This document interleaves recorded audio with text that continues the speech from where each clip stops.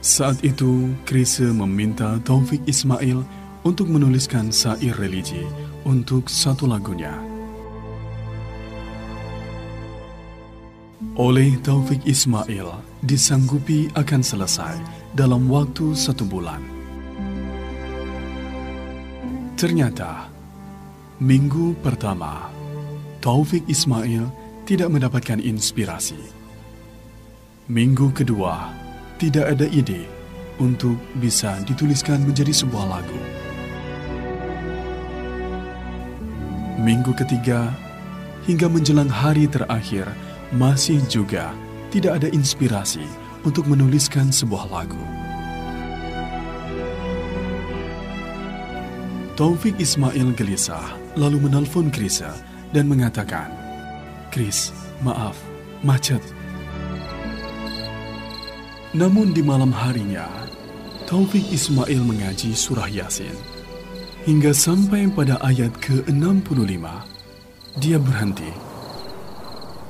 اليوم نختم على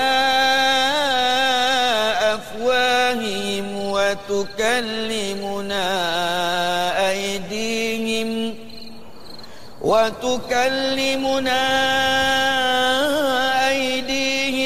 أيديهم وتشهد أرجلهم بما كانوا يكسبون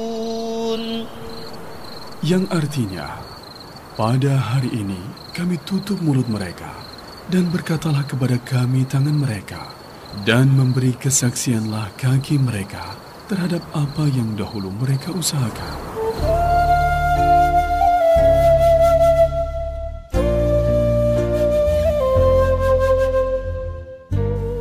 Bagi Taufik Ismail, makna ayat tentang hari pengadilan akhir ini sungguh luar biasa. Dan segera dia pindahkan pesan ayat itu ke dalam lirik-lirik lagu. Hingga ketika pita rekaman itu sudah di tangan Krisya, terjadi hal yang tidak biasa.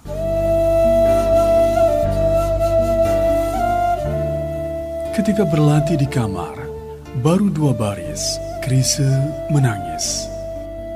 Kemudian ia mencoba lagi, menangis lagi, dan begitu berulang kali. Bagi Krisya, lirik yang dibuat adalah satu-satunya lirik paling dahsyat sepanjang karirnya. Ada kekuatan misterius yang mencekam dan menggetarkan hatinya. Setiap menyanyi dua baris, air matanya sudah membanjir. Yanti, sang istri Krisya, sampai sok melihat hal tidak biasa itu terjadi.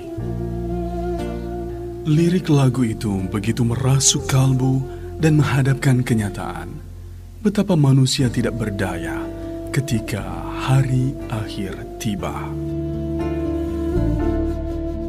Sepanjang malam dia gelisah. Lalu Krisa menelpon Taufik Ismail dan menceritakan kegelisahannya. Kemudian Taufik Ismail mengatakan bahwa lirik lagu itu diilhami dari surat Yasin ayat 65. Kemudian Taufik Ismail menyarankan kepada Krisa agar tenang. Di studio rekaman, hal itu terjadi lagi.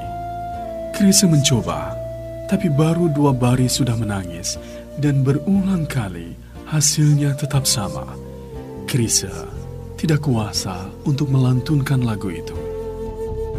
Erwin Gutawa yang menunggu proses rekaman sampai merasa senewan.